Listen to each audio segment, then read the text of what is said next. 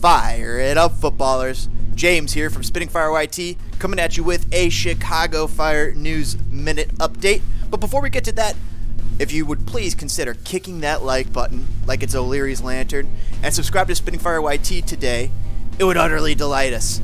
Greatly appreciate to all our current subscribers as we make our way towards 700 subscribers. Incredible. Greatly appreciate the support, travel team.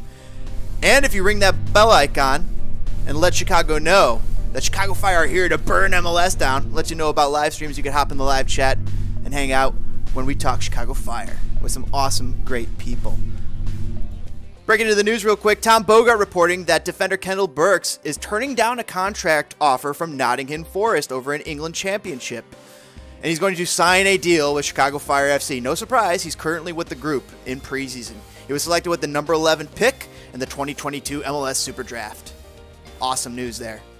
Also, on the docket, Tyrus reporting weeks ago that he might have known a little something about the Chicago Fire sniffing around Jairo Torres.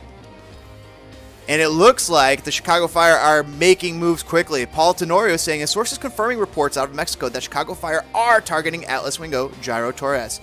He would be a potentially be a young DP or a U22 spot, lodge, more likely than not a young DP. Great signing here, great talent, very exciting news for Chicago Fire. So hopefully Chicago Fire can get it done. Says Liga MX fans might be upset by the Chicago Fire's acquisition, but maybe it gets them taking a look at Chicago Fire a little bit more for some entertaining soccer here on the lakefront.